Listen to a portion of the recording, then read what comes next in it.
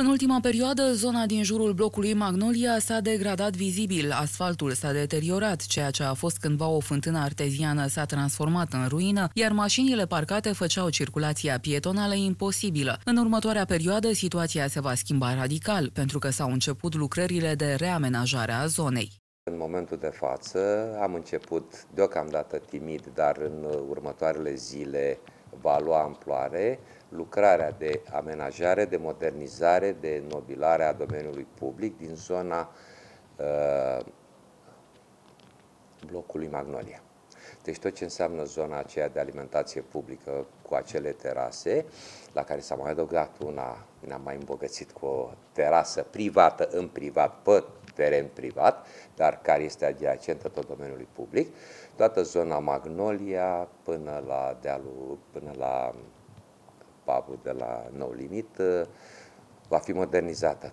Reprezentanții primăriei dau asigurări că întreaga zonă se va schimba după ce se vor finaliza lucrările de reamenajare. Vestea proastă este că parcarea mașinilor va fi interzisă, astfel că șoferii vor aglomera străzile din jur. Tot ce înseamnă parte de asfalt va fi reasfaltat, uh, nu se va mai penetra cu mașinile, va fi o zonă doar pietonală pentru că vom bordura intrarea aceea în care se blocau mașini, se blocau trafic și auto și de toate felurile.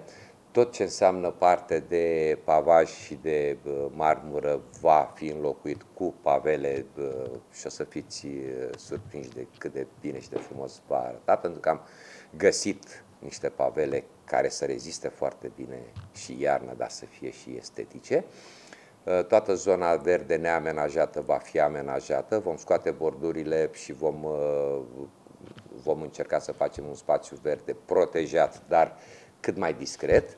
Vom obtura tot ceea ce înseamnă uh, acces auto din celelalte zone din spate și va fi acolo unde exista o fântână arteziană, nu mai dăm caracterul de fântână arteziană, dar o vom uh, reabilita cu forțe și cu resurse proprii prin urbis și vom pune pământ și vom face tot spațiul verde ca să dea bine să nu rămână o construcție neterminată.